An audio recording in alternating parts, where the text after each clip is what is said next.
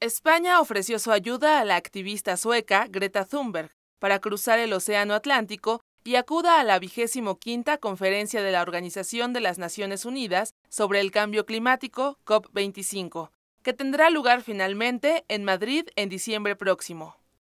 Desde el Pacífico, la joven de 16 años pidió ayuda para encontrar transporte que pueda llevarla a través del Atlántico y llegar a Europa antes del 2 de diciembre, cuando inicia la cumbre climática en Madrid, ante su negativa a viajar en avión por considerarlo un medio de transporte contaminante.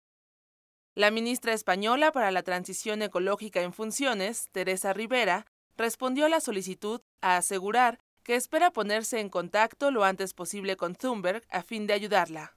Reconoció el largo viaje que la ambientalista ha hecho y su ayuda a todos a generar preocupación, abrir mentes y mejorar la acción climática.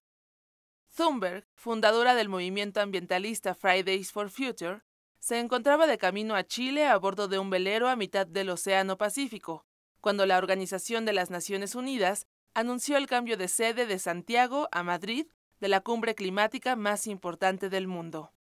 Originalmente la COP25 estaba prevista en Santiago del 2 al 13 de diciembre, pero a mitad de semana el presidente chileno, Sebastián Piñera, anunció su cancelación debido a la crisis sociopolítica en el país andino. Ahora, con el cambio de sede de la COP25, la joven sueca debió igual modificar sus actividades. Lamentó no poder visitar América como estaba previsto.